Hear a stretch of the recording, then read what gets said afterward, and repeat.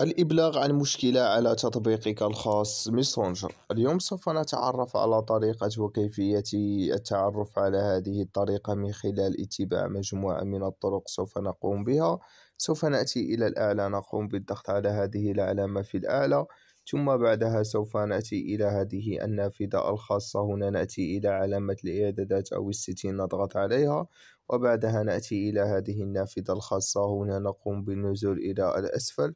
ثم نأتي إلى الإبلاغ عن مشكلة فنية نضغط عليها وبعدها نأتي نقوم بالضغط على الإبلاغ عن مشكلة ليتم الإبلاغ عن مشكلة الخاصة بك على حسابك الخاص أو تطبيقك ميسنجر وهنا نكون قد قمنا بالتعرف على هذه الطريقة الخاصة.